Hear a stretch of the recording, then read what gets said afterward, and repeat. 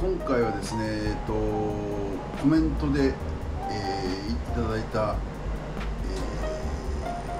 えー、石餅下道で釣れた石餅をどう料理するかっていう依頼が来たんですけどもそれに、えーと、ちょっと答えて料理を作りたいと思います、えー、石餅はだいたい、え、アジが100本中34本はやっぱり混じりますね。混じる多い時で10本以上混じる時もあります。そうした場合うちはもうその量によって料理を変えるんですけど、まあ、揚げてもよしもちろん刺身もよし刺身にしたい時はちょっとやっぱりエラと血抜きをして持って帰ってきますね。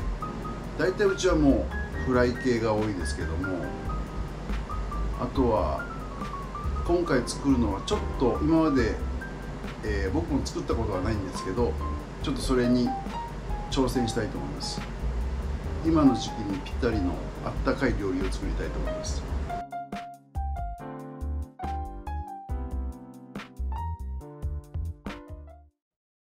今日は石餅の、えー、チリ蒸しを作りたいと思います。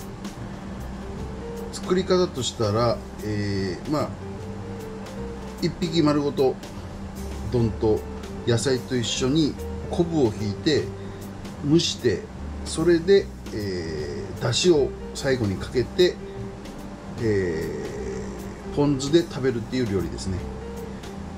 冬の定番料理です。これまだ鱗ついてるんで鱗を取りたいと思います、はい、鱗とエラと腹綿を取ります。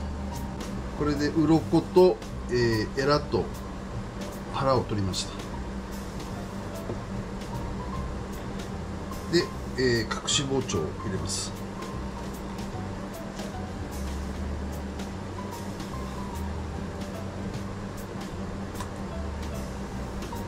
で表の包丁の入れるのは飾り包丁と言います。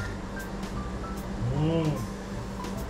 隠し包丁は隠し包丁は隠れたところで切れ込みを入れる、味味が。そうですね。火が入りやすいと味が染み込みやすいのと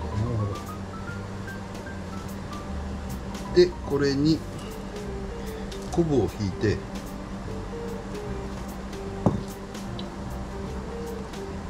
のせて、えー、豆腐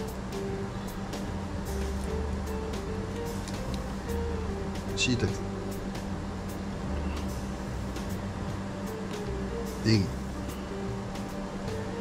日本酒を。かけます、このぐらいですね、うん、そしたら蒸し器にですね。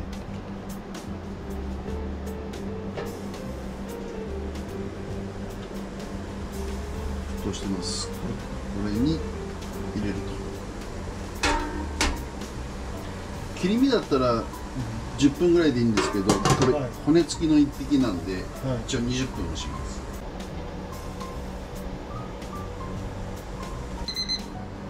できました。できましたね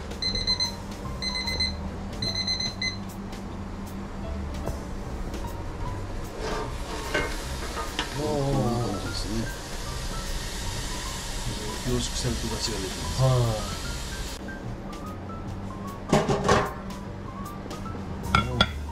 の出汁が出てます。うわカメラが曇った。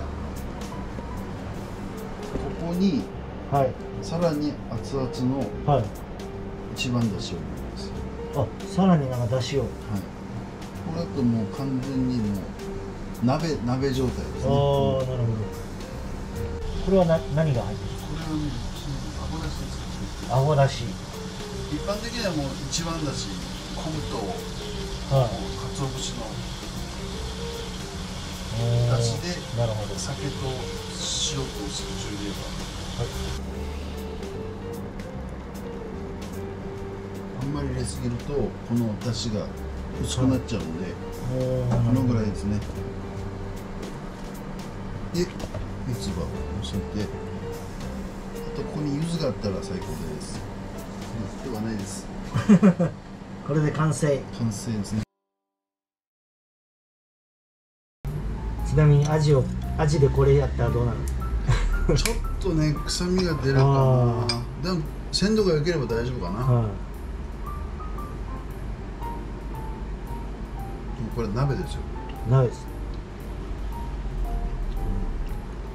うん、豆腐もあるし。うん。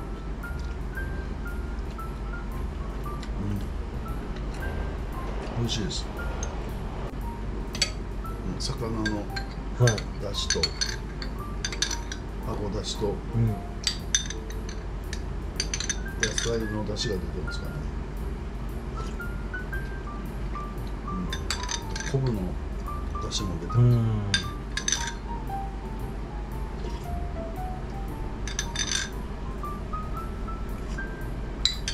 これはもう熱燗にぴったり 熱燗にぴったり。